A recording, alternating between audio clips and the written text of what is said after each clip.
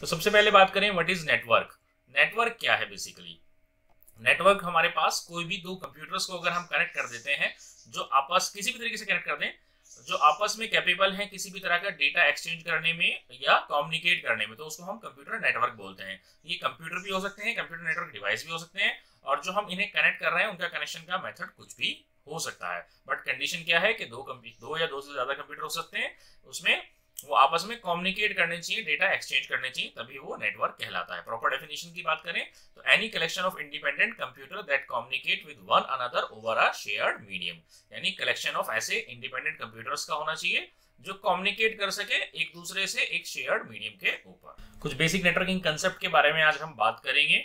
जैसे हमारे पास need for network क्या है? नेटवर्किंग की नीड क्यों पड़ी हमें? क्यों यूज़ करते हैं? रिक्वायरमेंट क्या है? एक बेसिक नेटवर्क बनाने के लिए हमें किन किन ज़रूरत, चीज़ों की ज़रूरत पड़ेगी? या नेटवर्क की कुछ टर्मिनोलॉजीज हैं जो बेसिक टर्मिनोलॉजीज हैं, उनके बारे में हम डिस्कस करेंगे। इसके अलावा switching techniques data communication terminologies और नेटवर्क टाइप्स जो है, वो हम नेक्स्ट वीडियोस में डिस्कस करेंगे, जिनका लिंक मैं डिस्क्रिप्शन में आपके साथ शेयर कर दूँगा। इसके बाद बात करें नीड फॉर नेटवर्किंग नेटवर्किंग की ज़रूरत क्यों पड़ी? नेटवर्किंग की ज़रूरत पड़ती है हमें किसी भी तरह के रिसोर्स को शेयर करने के लिए और कम्युनिकेट करने के लिए। या तो हम आपस में बातचीत करना चाहते हैं, इसलिए हम कंप्यूटर नेटवर्क बनाते हैं, या किसी तरह के रिसोर्स को शेयर करना चाहते हैं। किस तरह के रिसोर्स हो सकते हैं बेसिकली ये रिसोर्सेज आपके हार्डवेयर रिसोर्सेज हो सकते हैं या सॉफ्टवेयर रिसोर्स हो सकते हैं। एग्ज़ाम्पल से अगर हम समझना चाहें तो हमारे पास एक कंप्यूटर नेटवर्क है, जिस कंप्यूटर नेटवर्क में कुछ कंप्यूटर्स कनेक्टेड हैं, उसके अलावा कुछ प्रिंटर्स स्कैनर या आपका जो फ़ाइल सर्वर है, या और किसी तरह के सर्वर कनेक्टेड है तो हम एक कंप्यूटर से बैठ के, एक से ज़्यादा कंप्यूटर जो है, आपस में शेयर कर सकते हैं प्रिंटर को या स्कैनर को। यानी सभी कमांड दे सकते हैं, उसे अलग अलग सब पे कंप्यूटर लगाने की ज़रूरत नहीं है, एक ही जगह से यूज़ कर सकते हैं। बैंक्स वगैरह आपने देखा भी होगा कि एक ही कंप्यूटर होता है, अगर आप किसी काम से जाते हैं, और वो थोड़ा सा दूर लगा हुआ होता है, जिससे सभी कंप्यूटर्स उससे आपस में कनेक्टेड और कोई भी प्रिंट की कमांड देगा वहाँ पर तो वो एक ही जगह से प्रिंट आप निकाल सकते हैं। तो अलग अलग जगह सब जगह इंडिविजुअल प्रिंटर कनेक्ट करने की ज़रूरत नहीं है। तो वो हार्डवेयर जो है प्रिंटर भी हो सकता है, वो किसी तरह का कॉमन जो है स्टोरेज डिवाइस भी हो सकता है, वो स्कैनर भी हो सकता है और वो किसी तरह के और दूसरे हार्डवेयर भी हो सकते हैं। तो इसी तरीके से हम कई बार सॉफ्टवेयर को भी एक्सेस करते हैं, जिसमें क्या होता है कि सर्वर के ऊपर हमारा सॉफ्टवेयर इंस्टॉल होता है। बाकी हमें अपने जो क्लाइंट मशीन्स होती हैं, उन पर उन्हें जो है इंस्टॉल करने की ज़रूरत नहीं पड़ती है। उसमें आपका कोई फ़ोटो एडिटिंग का भी सॉफ्टवेयर हो सकता है वो, जो हम एक जगह हमने सर्वर पर इंस्टॉल कर दिया ऑनलाइन और बाकी सब जगह से हम उसे ऑनलाइन एक्सेस कर रहे तो वो हमें अपने यहाँ इंस्टॉल करने की ज़रूरत नहीं है। वो आपका ऑपरेटिंग सिस्टम भी होता है। काफ़ी जगह ऐसा एनवायरमेंट होता है कि ऑपरेटिंग सिस्टम एक जगह इंस्टॉल है सर्वर पर और बाकी सब जगह जब सिस्टम बूट होते हैं तो वहीं से ऑपरेटिंग सिस्टम लोड होता है, यानी हमें अपनी मशीन पे ऑपरेटिंग सिस्टम भी इंस्टॉल करने की ज़रूरत नहीं है।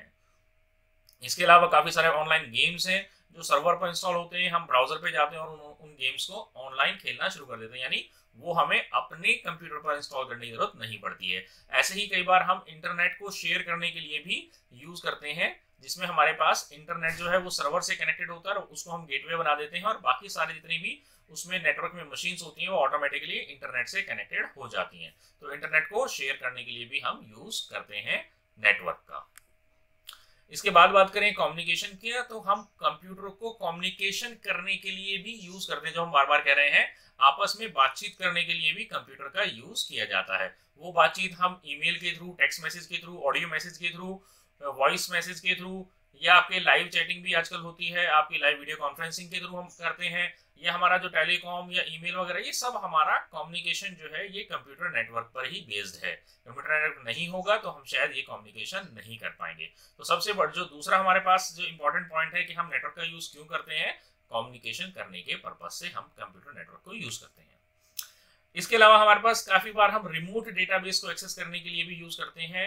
या हमारे पास ये सर्विस है कि हम हम अपने कंप्यूटर नेटवर्क में एक लोकेशन से बैठकर, कहीं से भी बैठकर जो है, हम नेटवर्क पर कहीं, जहाँ भी हमें एक्सेसिबल है तो हम डिस्टेंस लोकेशन पर रिमोट का मतलब होता है डिस्टेंस दूर कहीं किसी दूसरी लोकेशन पर कुछ डेटा या इंफॉर्मेशन प्रेजेंट है, उसको एक्सेस कर सकते हैं। जैसे, काफ़ी बार हमने देखा है कि हम फ़्लाइट की बुकिंग ट्रेन की बुकिंग या मूवी टिकट बुकिंग या कोई ऑनलाइन शॉपिंग कर रहे हैं या अपने स्कूल से रिलेटेड या यूनिवर्सिटी से रिलेटेड कोई फॉर्म वगैरह फिल कर रहे हैं तो वो एक्चुअल डेटा जो है वो कहीं दूर जगह किसी लोकेशन पर प्रेजेंट है तो हम वहाँ का डेटा एक्सेस कर सकते हैं या उसको मैनिपुलेट कर सकते हैं चेंज कर सकते हैं रिक्वेस्ट कर सकते हैं तो वो रिमोट लोकेशन के डेटा को हम यहाँ पर घर बैठ के या अपने किसी भी जो ऑफ़िस में है वहाँ से हम बैठ के एक्सेस कर सकते हैं। तो इसके लिए भी हम का, काफ़ी बार कंप्यूटर नेटवर्क को यूज़ करते हैं। इसके बाद बात करें, एक अगर हम कंप्यूटर नेटवर्क बनाना चाहते हैं, हम अपना नेटवर्क बनाना चाहते हैं तो उसके लिए हमें क्या मिनिमम रिक्वायरमेंट है? तो सबसे पहले तो हमें दो कंप्यूटर या कंप्यूटर लाइक डिवाइसेस चाहिए, जिन्हें हम आपस में कनेक्ट करना चाहते हैं। उसके अलावा हमें कुछ इंटरफेस पोर्ट चाहिए होंगे, जैसे लैंड पोर्ट चलते हैं, उससे पहले पुराने कुछ और पोर्ट चला करते थे। आजकल जो कॉमनली यूज़ होते हैं, वो लैंड पोर्ट होते हैं। फिजिकली लैंड कनेक्ट करने के लिए एक केबल चाहिए जिसे हम आपस में कनेक्ट करना चाहते हैं। अगर दो कंप्यूटर को बना रहे तो हम डायरेक्टली लैंड केबल से कनेक्ट कर सकते हैं। या हम वायरलेसली कनेक्ट करना चाह रहे हैं तो हमारे पास वाईफाई होना चाहिए उन दोनों सिस्टम्स में। आजकल तो इनबिल्ट आपके पास आता है, नहीं तो आप वाईफाई डोंगल परचेज करके यूएसबी में वो लगा सकते हैं। कई आजकल जो लेटेस्ट मदरबोर्ड्स आ रहे हैं, उनमें इनबिल्ट वाईफाई भी अवेलेबल है हमारे पास। तो हम डायरेक्टली वाईफाई से कनेक्ट कर सकते हैं। या फिर इसके अलावा अगर हम कॉम्प्लेक्स नेटवर्क बनाना चाहते हैं थोड़ा बड़ा नेटवर्क बनाना चाहते हैं, ज़्यादा कंप्यूटर्स को कनेक्ट करना चाहते हैं तो हम ज़रूरत के हिसाब से उसमें कुछ नेटवर्किंग डिवाइसेस को कनेक्ट कर सकते हैं, जैसे राउटर स्विचेस या मॉडम्स इनके भी ज़रूरत पड़ने पर हम यूज़ करके बड़ा नेटवर्क बना सकते हैं। इसके अलावा जिन चीज़ों की हमें ज़रूरत पड़ती है एज पर द नीड वो हमारे पास सर्वर बेस्ड ऑपरेटिंग सिस्टम होता है। अगर हम बड़ा नेटवर्क बना रहे हैं तो उसमें एक सर्वर होता है, बाकी क्लाइंट होते हैं। तो वो सर्वर एज अ सर्वर काम करे, उसके लिए हमारे पास उसमें एक अलग से ऑपरेटिंग सिस्टम डाला जाता है तो विंडोज़ जब हम विंडो 10 विंडो 7 ये सब यूज़ करते हैं, ये क्लाइंट बेस्ड होता है।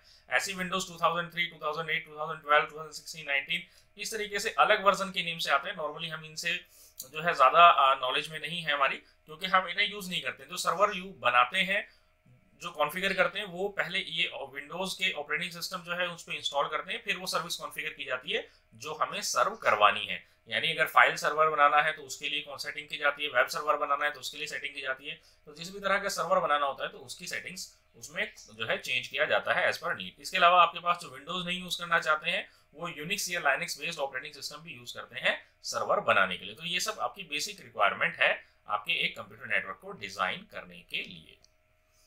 इसके बाद बात करें नेटवर्क की कुछ टर्मिनोलॉज की टर्मिनोलॉजीज की, जो बेसिक टर्मिनोलॉजीज हैं इसमें हमारे पास सबसे पहले बात करें तो हम जो है एक टर्म यूज़ करते हैं नोड या वर्क स्टेशन जिस कंप्यूटर से बैठ के हम काम कर रहे हैं, जो हमारी क्लाइंट मशीन है, उसको हम नोड या वर्क स्टेशन बोलते हैं। जहाँ से हम किसी डेटा को एक्सेस कर रहे हैं, हम कोई अपना काम कर रहे हैं।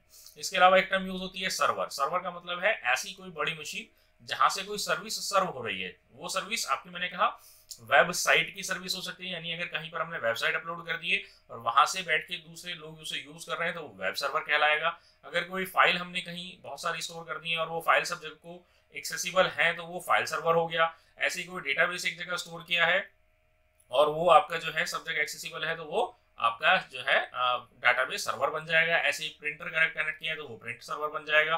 तो इस तरीके से हम किसी भी सर्विस को नेटवर्क की अगर अवेलेबल करवा देते हैं, बाकी सब के लिए तो वो आपका सर्वर मशीन कहलाती है। इसी तरीके से एक नेटवर्क इंटरफेस कार्ड या एनआईसी बोलते हैं।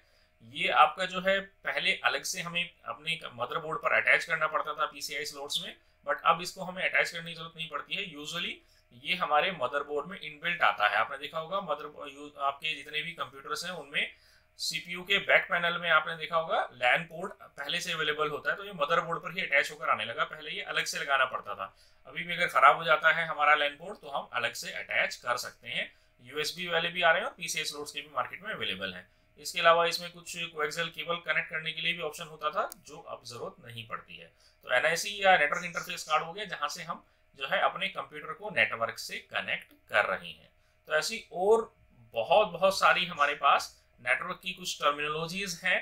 जैसे हमारे पास एफ़ आपका net host W W broadcast firewall VoIP van broadband down time ऐसी बहुत सारी टर्म्स हैं जो हम आगे आने वाले सेशंस में सीखेंगे। तो आप बने रहिए, कोई डाउट है आपको तो आप कमेंट में पूछ सकते हैं। वीडियो अच्छी लगी है तो उसको लाइक कीजिए शेयर कीजिए और सब्सक्राइब कीजिए। Thank you very much